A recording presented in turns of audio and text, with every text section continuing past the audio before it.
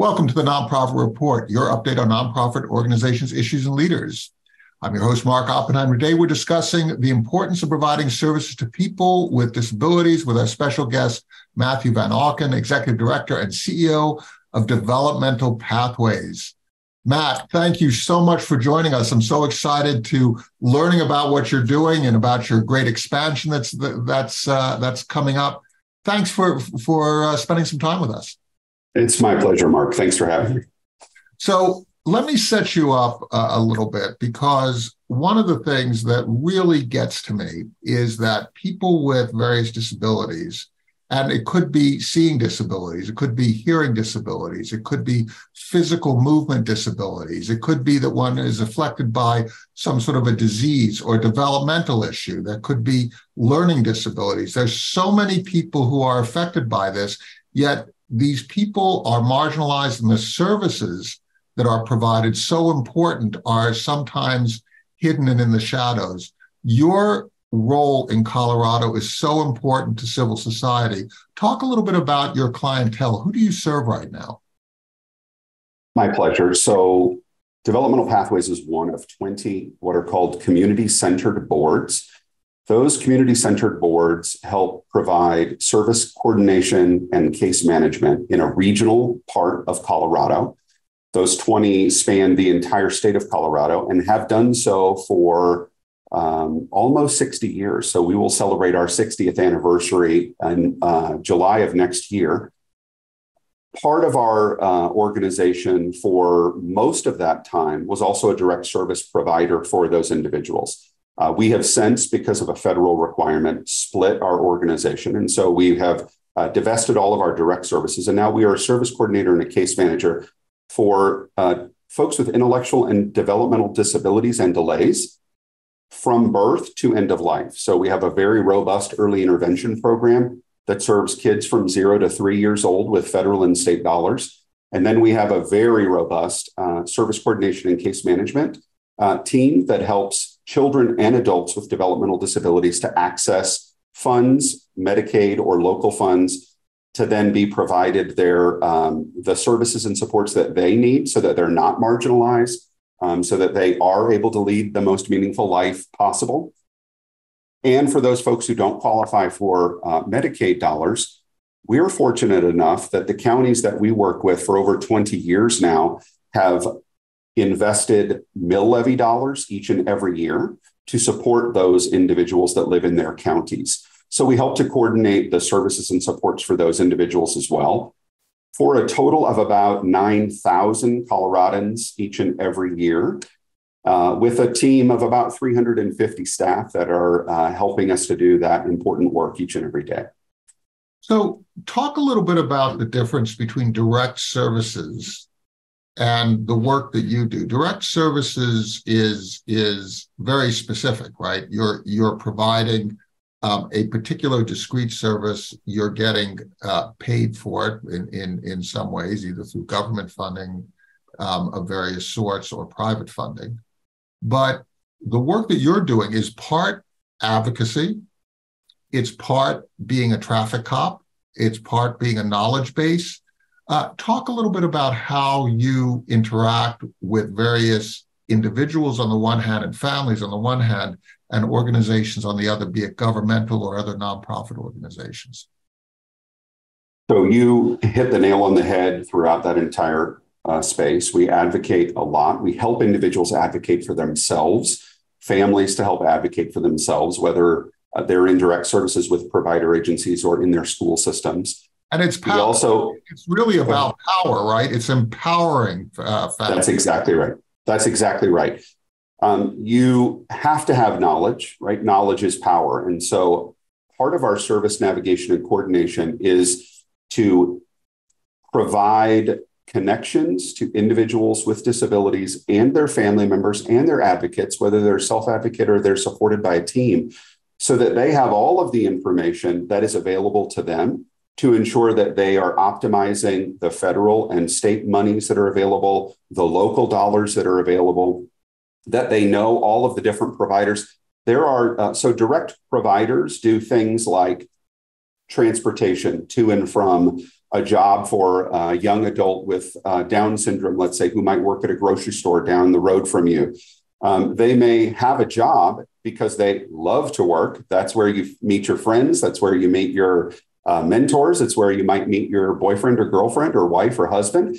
Um, so, an individual with an intellectual or physical disability uh, wants to live the same sort of life that you and I do, obviously, and uh, but they may not be able to uh, pass a driver's license test, or if they're in so a if wheelchair. I have a car and I'm driving, right. I'm in the direct services business. That's the that that's that, that's exactly right. That's exactly right. And so, as a service coordination uh, agency, we help to coordinate all of the information in our geographical area as well as help those individuals who do qualify. Many of the folks that we provide services for qualify for what we call Medicaid funding here in the state of Colorado, which is basically $1 is 50 cents of federal money, uh, tax money, and 50 cents of state tax money. And that $1 is then able to pay that transportation provider to get you to and from work.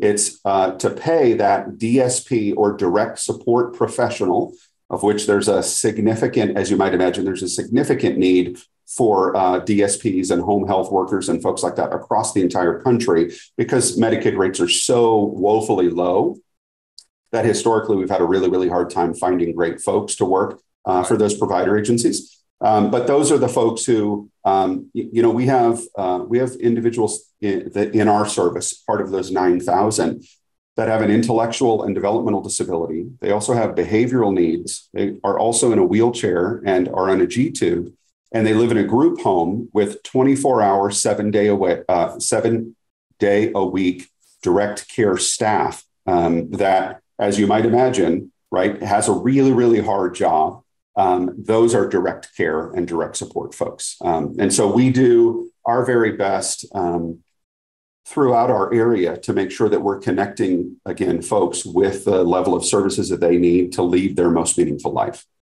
Now, my understanding is that um, part of what's going on right now is that there are shifts uh, going on across the country, including in Colorado, to provide uh, better service at in more efficient ways. So um, to serve more people, could you talk a little bit about what you see coming down the pike and what you're going to be adjusting to over the next several years?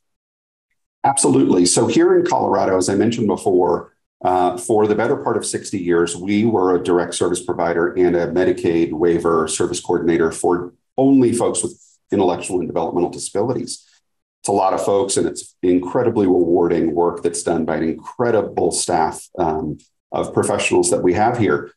But as you know, Mark, it's a very complicated and complex system at it on a good day, right? At its very best, it is a really, really precarious and complex system because in order to qualify uh, to spend federal, state, local dollars, you have to go through a lot of barriers. You have to jump through a lot of hoops. You have to do a lot of things to prove that you have a disability, um, that you have that you meet certain financial requirements. Um, you have to make sure that right you proof of residency, and you have to go to the doctor, and you have to go to the county human services department. Right? It's and and and, and compliance trap. Right? I mean, in that's order right. Sure that money is well spent. You have to have oversight. Sometimes oversight can be as burdensome and as costly as the service itself. So, how do you create the right balance? And, and what's Colorado's emerging uh, take on this? So we we are uh, we are a lean and mean operating machine to be sure. Uh, we are a nonprofit organization ultimately, and so we have a responsibility to our funders, to our board of directors, right, to the counties to make sure that we keep our management and administrative costs uh, to the lowest possible number that we can um, hovering somewhere around you know 12, 12 or 13 percent um, each and every year. The rest of those monies go directly to individuals and families in need. Those go to the staff that help to provide all of that service coordination and connection. Um, and Colorado, in and of itself, is really a, um, a, a beacon of hope in regards to how can how well can you do your job uh, for the monies that you provide. Um, there's a national uh, organization that provides a state of the state uh, report each and every year. And Colorado is regularly in the top 10 of all states in uh, the things that we measure and are deliverable for people with disabilities, even though we hover somewhere around the 45th out of 50 states for total funding per person. So um, the the magic there, if I'm being uh, direct and honest with you, is that we provide those services at a local space. A lot of states across the United States do state level case management and state level coordination and have statewide providers or even national providers that don't know the community and they don't know um, uh, how to connect everyone and to navigate in a way that ultimately makes the most sense for that individual in their community. Um, and so Colorado has has led in that for years. You're making a point which which we advance um, at, at, at, at our uh, organization, which is that there are a lot of different solutions to problems, and local knowledge is so very important to providing those solutions in an efficient way. Now, you're going to scale up over the next couple of years. So, uh, talk a little bit about why you're scaling up and how you expect your services to continue to morph. Yeah, we are so excited about uh, the next 18 months or so. As part of the uh, addressing of the conflict issue at the federal level, that the state of Colorado and all other states that receive Medicaid dollars for people with developmental disabilities and physical disabilities they have to be in compliance and have that full separation. But they also recognize that today, in each of those geographical areas throughout our state, there are 64 counties. Um, and uh, today, if you live in one of those counties, if you have a physical disability, you have to go to what's called a single entry point. If you have a developmental or intellectual disability, you have to go to a community center board, which we are. So, at the very beginning, for a family or an individual who may move here um, or is born in Colorado, they have to make a choice that can significantly impact the rest of their life. So if you and have if a disability, you go in one direction. If you have a developmental disability, you go. But a lot of people with developmental disabilities, particularly as they age, it intersects, right? But one hundred percent. Now you're in one system or the other system, and and what do you do, right? Then you have to go back through this whole thing, and then you, then people are likely to say, "What? You're out of compliance because you're getting too much money from too many different people. You've got too many people serving you. Everybody's talking in their own little silos. So, so what are you going to do? How, how is this going to be resolved? That's exactly right. So, uh, so recognizing that, gosh, one in six children are born with a disability uh, across the United States. One in four adults will have a disability in their lifetime. So, while you and I may perhaps not have a disability today, uh, chances are, as you mentioned, as we get older, we're going to need some supports with memory care, dementia, um, physical movement, things like that. So, uh, for almost all Americans, it's just a matter of time. People with developmental disabilities and folks who are born with uh, physical disabilities, like my little sister, uh, Kelly, who passed away eight years ago, she was born with muscular dystrophy and cerebral palsy. And so um, it's easy to recognize that from a young age, but eventually we're all going to need those supports. And you're absolutely right, Mark. A great many of the folks that we serve today that have an intellectual or developmental disability, or uh, what we uh, what a lot of advocacy organizations are calling uh, being neurodiverse, um, they also have mental health support needs, behavioral health support needs, and physical health support needs. Um, and so you're right. Sometimes that bifurcation can create um, a, a, harder time in an already complex system for folks. So, what Colorado is doing, um, and we applaud them for this, is that they're making one organization for an entire area. So, there's only one place that you have to start with to understand all of the different options that are available and supports and to connect with those providers. It's the, multi, it's the multi-service center concept, right? So That's exactly right you talk with one person and they become the person who can take care of your needs, right? That, That's now, right. Personally, right? They're the traffic right. cop, they're the advocate. So you've got to train up all your people, right? That's exactly right. So today in early intervention services from zero to three, there are about uh, 12,000 or so children in the whole state of Colorado. We serve a quarter of them. Uh, we like to say that we're the largest nonprofit in Colorado that you've never heard of until you need us. Um, and there are roughly 75 to 80,000 children and adults that uh, qualify for Medicaid waivers across the state.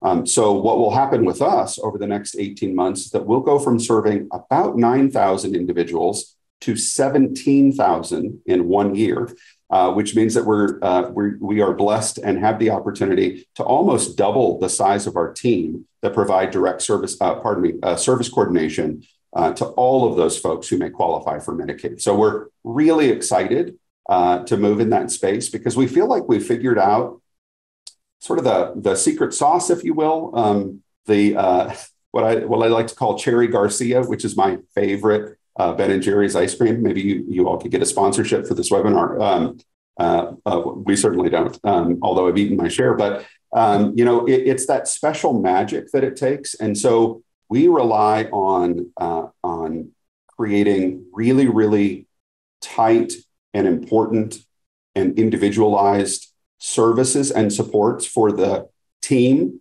members that work here so that they in turn can do that for the people that we serve as as executive leaders in nonprofits as you know better than i do mark our job is to make sure that the folks that we employ that are our team members that are doing the hard work each and every day it's fulfilling but hard work that they have all of the resources that they, that they need. So you know we're doing hybrid uh, solutions to working and we're allowing folks to have as much flexibility in their work as possible. Uh, tuition reimbursement and you know paying at market or better. We're, we're doing all of these things that we can to make sure that we support folks because at the end of the day they're caregivers and as you know you've got to put your uh, mask on first before you help others and so we always want to make sure that uh, the, the people that we're fortunate enough to get to work with each and every day feel like they're supported by us so that they can take care and serve properly the folks with uh, disabilities.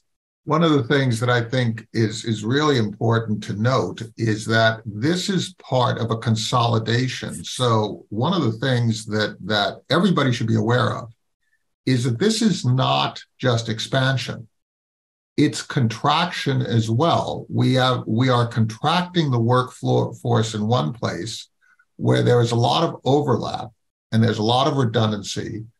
Removing the redundancy and moving those that workforce under a under a, a different umbrella. A lot of these people who will come on will be trained. They will. That's exactly right.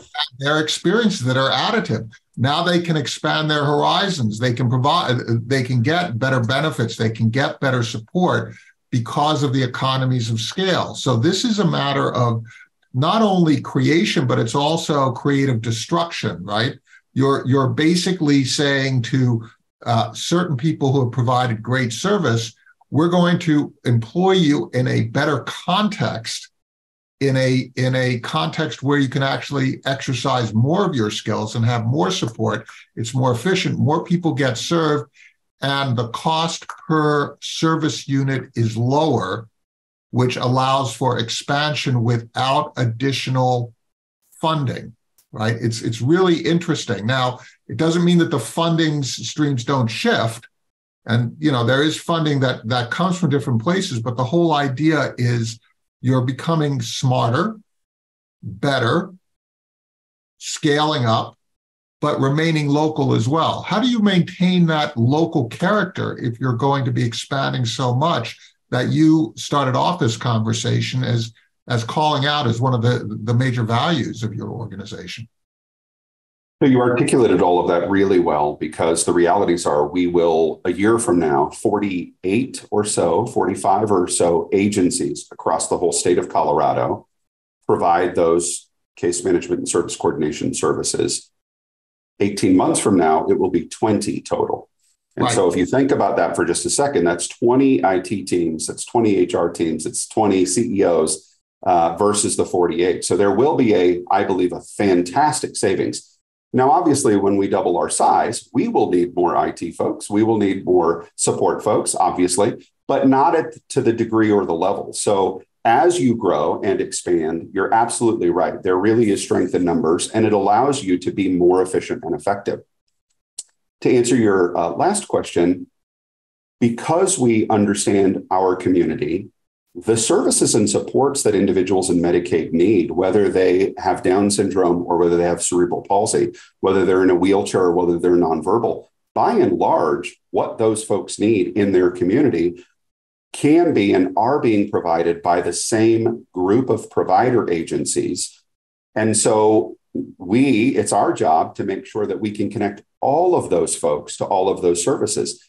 Sometimes in an area, the one agency that does work for folks with uh, just physical disabilities versus the developmental disabilities don't have the same um, uh, direct connections throughout their community.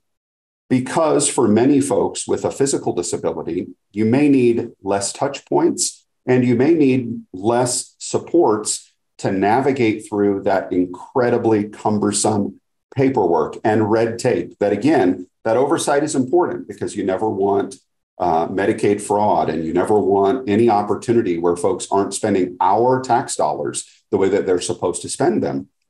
But they may have less need for um, enhanced services or person to person services. Well, we've been doing that for almost 60 years. And so that level of service, we hope to be able to take and move into uh, that realm for folks with physical disabilities so that they appreciate all of the incredible services that are available in their community today.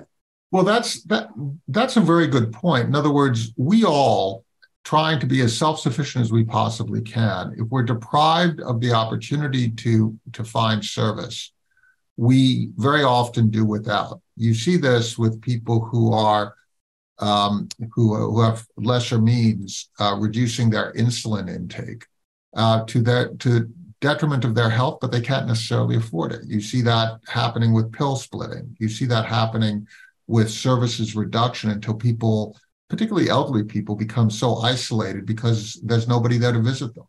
You know, that's the thing that we can address, and that's the thing that is so valuable uh, to civil society. So as you're as you're expanding and as you're uh, upgrading your infrastructure, as well as your you, the individuals who provide those services and the funding for those services, are you going to be able to maintain your very good record of, of ensuring that only what did you say 12% go to administrative overhead? Are you going to be able to maintain that or are you going to have a period of time when you have to invest where that balance might because you're going to be building up right? That that'll that's right.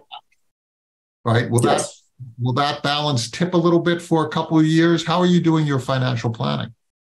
So we anticipate that in a in a five year stretch, we will see the five year average decrease considerably from where we are even today.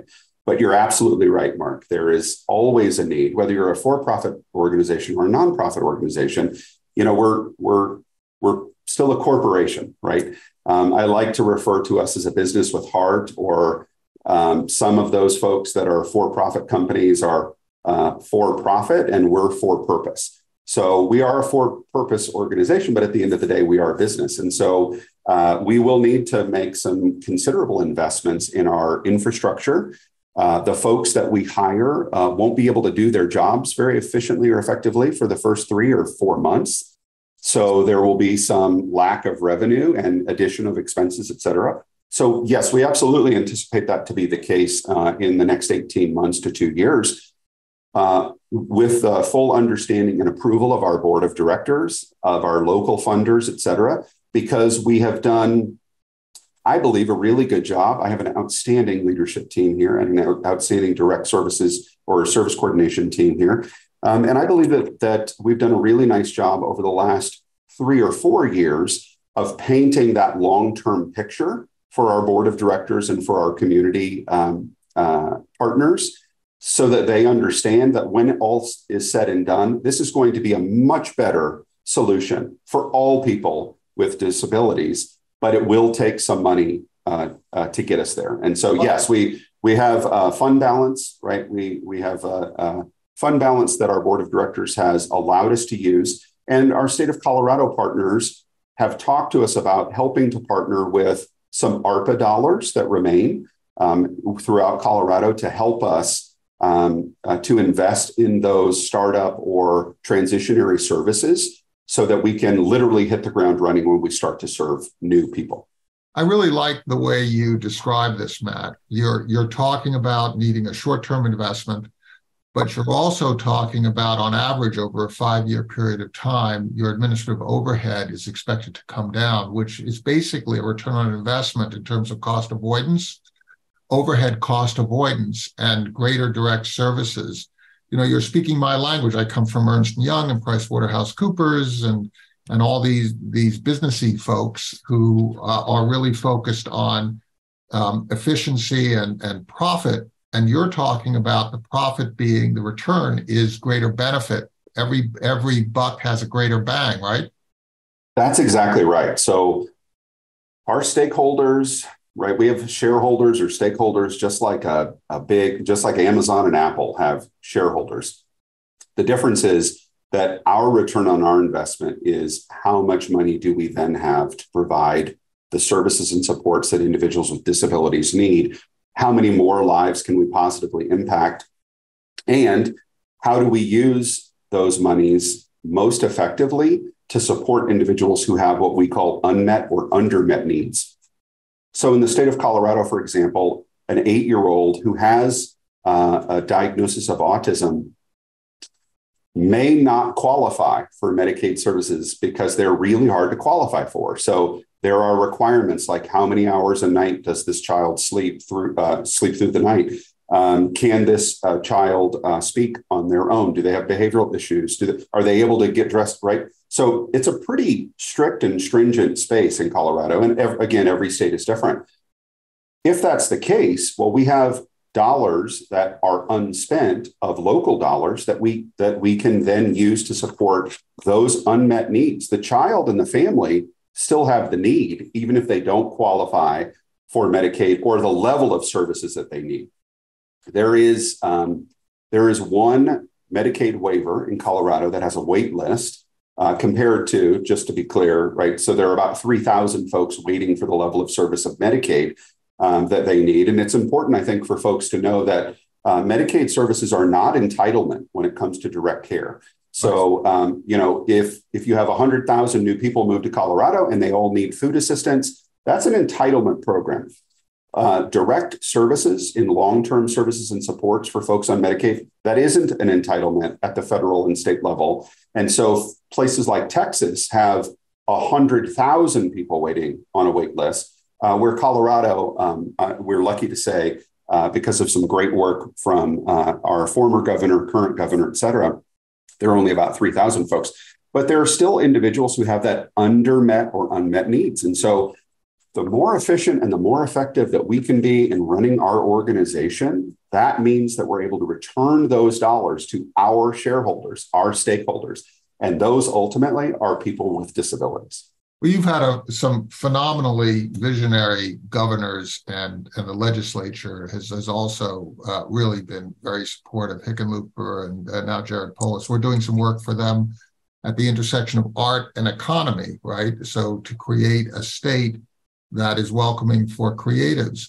I think that your point, and, and let's close with this point that you raised in the beginning, which is that 25% of us are going to be affected by uh, by disability personally, and not only that, but those who we love are going to be caring for us in some way. So it's not just 25%; it's 25% and everybody who knows the 25%, which is the rest of us, right?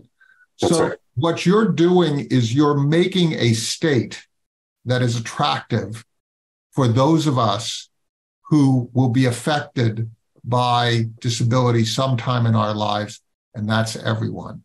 That is and that's everyone. everyone. That's right.